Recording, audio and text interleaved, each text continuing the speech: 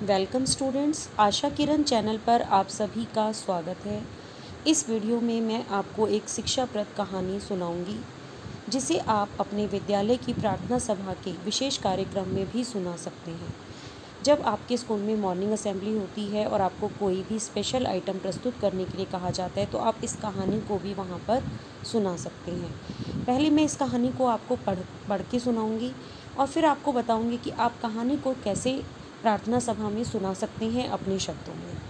तो चलिए शुरू करते हैं। अगर आपने चैनल को अभी तक सब्सक्राइब नहीं किया है तो चैनल को सब्सक्राइब कर लीजिए और सब्सक्राइब की राइट साइड में जो बेल आइकन है उसको भी प्र, प्रेस कर दीजिए ताकि मेरी आने वाली वीडियोस के नोटिफिकेशंस आपको मिल सके।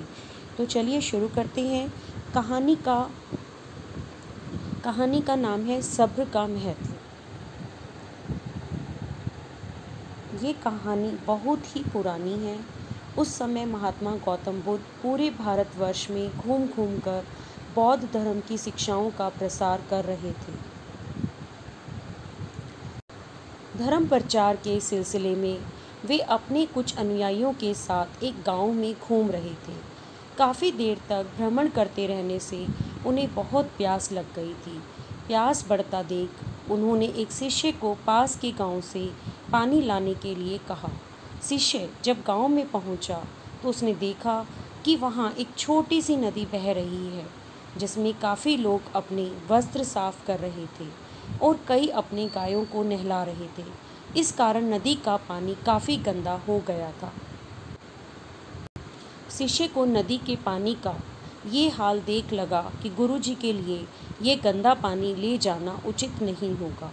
इस तरह वह बिना पानी के ही वापस आ गया। लेकिन इधर गुरु जी का तो प्यास से गला सूखा जा रहा था। इसलिए उन्हें उन्होंने पानी लाने के लिए दूसरे शिष्य को भेजा। इस बार वह शिष्य उनके लिए मटके में पानी भर कर लाया। यह देख महात्मा बुद्ध थोड़ा आश्चर्यचकित हुए। उन्होंने शिष्य से पूछा, गाँव में बहने वाली नदी का पानी तो गंदा था, फिर ये पानी कहाँ से लाए? शिष्य बोला हाँ गुरुजी उस नदी का जल सही में बहुत गंदा था। परंतु जब सभी अपना कार्य खत्म करके चले गए, तब मैंने कुछ देर वहाँ ठहर कर पानी में मिली मिट्टी के नदी के तल में बैठने का इंतज़ार किया। जब मिट्टी नीचे बैठ गई तो पानी साफ़ हो गया, वही पानी लाया हूँ। महात्मा बुद्ध शिष्य का यह उत्तर सुनकर बहुत खुश हुए, तथा अन्य शिष्यों को एक शिक्षा दी कि हमारा जीवन भी नदी के जल जैसा ही है। जीवन में अच्छे कर्म करते रहने से यह हमेशा शुद्ध बना रहता है। परंतु अनेकों बार जीवन में ऐसे भी क्षण आते हैं जब हमारा जीवन दुख और समस्याओं से घिर जाता है।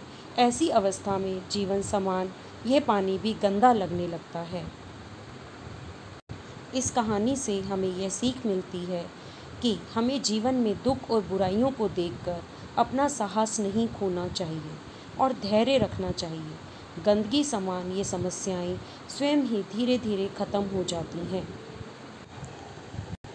बच्चों, आप ये कहानी अपनी प्रार्थना सभा में पढ़कर भी सुना सकते हैं, जैसे मैंने आपको पढ़कर सुनाई, लेकिन आप इसे याद करके अपने शब्दों में भी प्रस्तुत कर सकते हैं। जैसे कि अगर हमें ये कहानी सुनानी है तो हमें ज़रूरी नहीं है कि जैसे लिखा हुआ है, वैसे ही हम इसको पढ़ते जाएँ। हम इसको अपने शब्दों में भी बता सकते हैं और अपने हिसाब से कहानी को सुना सकते हैं। जैसे, ये कहानी बहुत ही पुरानी है। उस समय महात्मा बुद्ध पूरे देश में, पूरे भारत में घूम घूम कर बौद्ध धर्म की शिक्षाओं का प्रसार कर रहे थे। धर्म प्रचार के सिलसिले में वे अपने कुछ शिष्यों के साथ एक गाँव में घूम रहे थे। अनुयायी क्या होते हैं? शिष्य। तो वो अपने शिष्यों के साथ एक गाँव में घूम रहे थे। काफ़ी देर तक घूमते रहने के से उन्हें बहुत प्यास लग गई थी।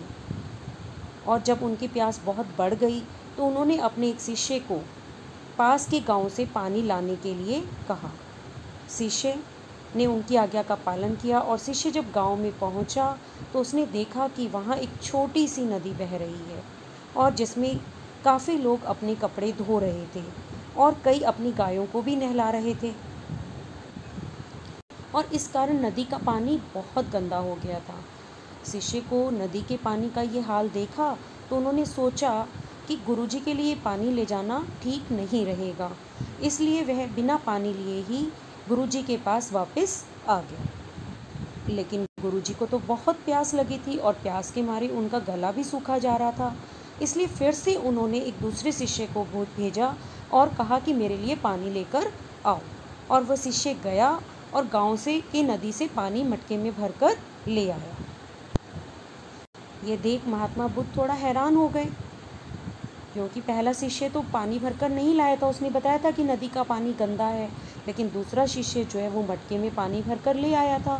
तो उन्होंने शिष्य से पूछा कि गाँव में बहने वाली नदी का पानी तो बहुत गंदा था, फिर तुम ये पानी कहाँ से लाए?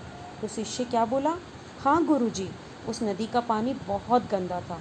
परंतु जब सभी अपना काम ख़त्म करके अपने अपने घर चले गए तो मैं वहाँ थोड़ी देर रुक गया और पानी में मिली मिट्टी का नीचे बैठने का इंतज़ार किया मतलब नदी के तल में बैठने का इंतज़ार किया।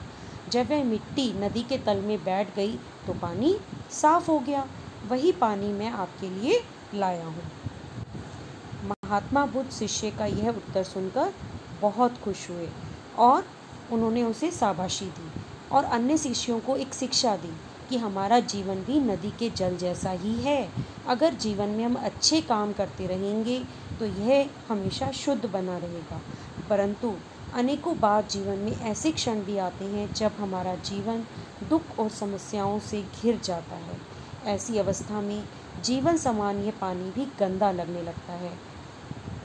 और इस कहानी से हमें क्या सीख मिलती है?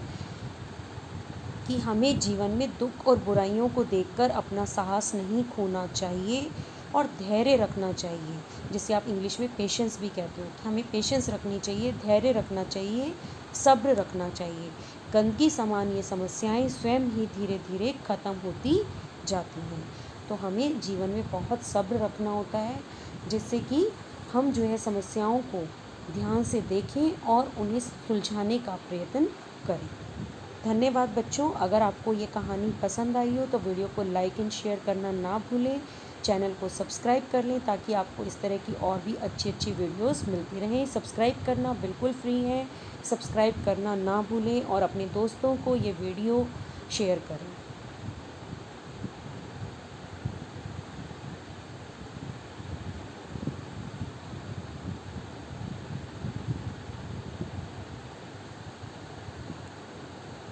धन्यवाद बच्चों।